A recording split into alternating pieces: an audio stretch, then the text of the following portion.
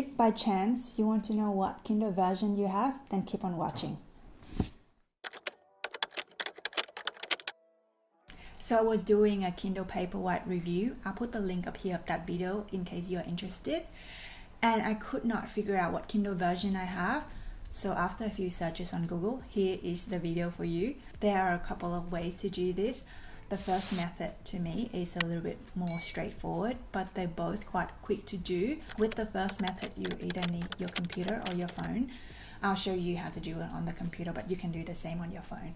So first of all, you will need to log into your Amazon account and you'll go to this section saying account and list and under this drop down box you will find your app and devices click into that so you wouldn't see the devices that you connected to Amazon under your devices. You'll need to click into one click settings.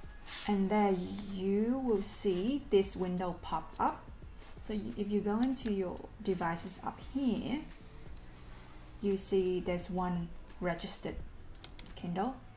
And if I click into it it say here that I registered it in February 2018 and my Kindle is a Kindle Paperwhite 7 generation so that's the first method with the second method you will need your Kindle once you open up your Kindle, then you go into the settings or settings and you will see the device options.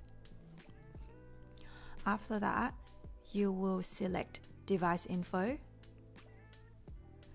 What you need here is the serial number, just the first four digits. So mine is G090. Once you've got the serial number, then you'll go into this website. I'll put the link to this website in the description box. But basically, you can just search for your serial number. So mine is G090. Says here that it's a Kindle Paperwhite 3, 7th generation, which is consistent with what I've got from my Amazon account. So that's all there really is.